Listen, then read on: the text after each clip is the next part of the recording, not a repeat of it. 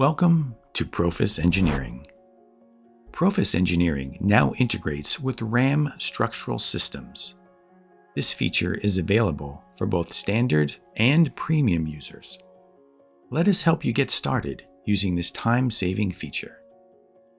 First, navigate to RAM Structural Systems and complete your design. After designing the foundations in RAM Structural Systems, you can export your final design to Profis Engineering. Click on the Process menu and select Export to Profis Engineering. Then, click on a steel column to export your design. After factoring your loads and selecting the combinations to transfer, then click to export. You will need to log in using your Profis Engineering credentials from the RAM Structural Systems window.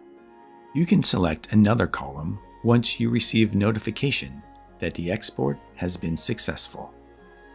After exporting, navigate to profisengineering.hilti.com and log in with the same credentials. Now, you will see a notification that the file has been imported and will see the files in the File Import window on the right side of the screen.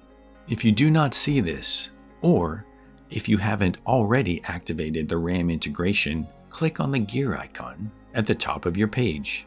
Here, you will navigate to the Interfaces to Structural Software tab and check the RAM box. Select the file you wish to import, and then you will be prompted to select your load combinations to import. For the standard version, you can select up to 10 combinations. With Premium, you can select up to 999. When your file is uploaded, you will see everything you have defined in RAM load combinations, profile, base material, base plate size, shape, and more. Now, you will be able to complete your anchor and base plate design. Help increase your productivity while designing anchors using the Hilti Profis Engineering Suite today. Visit hilti.com slash profisengineering to learn more tips and tricks.